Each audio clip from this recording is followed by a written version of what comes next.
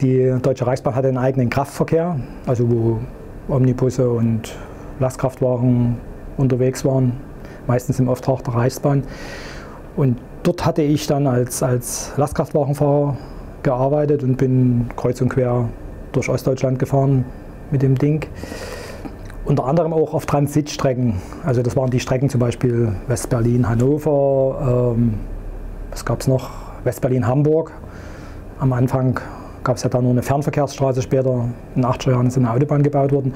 Oder über Leipzig, genau, Hermsdorfer Kreuz nach Herdeshausen. Nee, Herdeshausen ist egal, also Richtung München.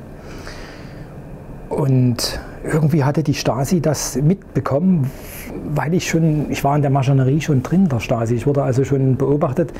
Ähm, nach der Wende habe ich dann, als ich mal in den Unterlagen meines Vaters heimlich nachgesehen habe, ähm, gesehen, dass also mein Vater auch schon sehr frühzeitig, nachdem er aus der Partei ausgetreten war, äh, von der Stasi observiert wurde.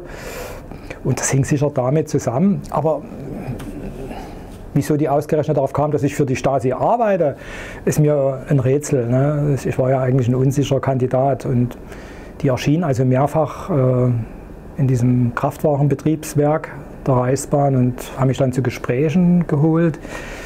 Ähm, später habe ich auch ähm, in meinen Akten gelesen, dass also der Kaderleiter und mehrere andere äh, leitende Angestellte in dem Werk äh, mit für die Stasi gearbeitet haben und, und auch über mich ständig berichtet haben.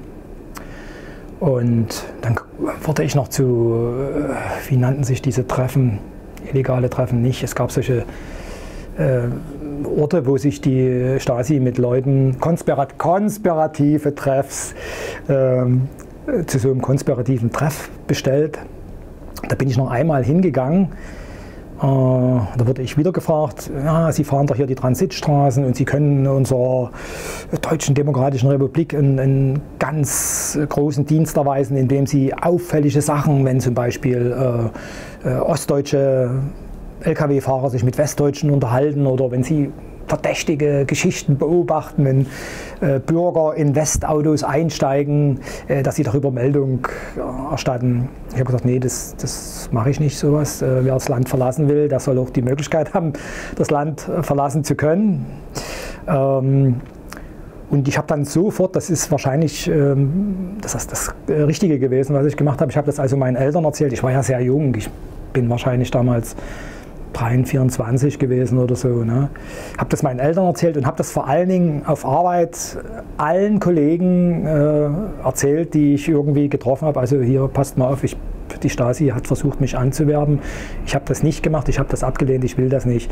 Und da ja einige äh, dieser Arbeitskollegen äh, auch für die Stasi gearbeitet haben, ist das natürlich sofort durchgestellt worden. Und später habe ich dann in meinen Unterlagen gefunden, dass äh, der Kontakt zu mir abgebrochen wurde, weil ich Geheimnisverrat begangen hatte und, und ein unsicherer, äh, schwatzhafter, äh, aufmüpfiger Kandidat bin und für die Zusammenarbeit mit der Stasi nicht in Frage komme. Also das, damit war das beendet, habe ich dann auch nie wieder was in dieser Richtung gehört.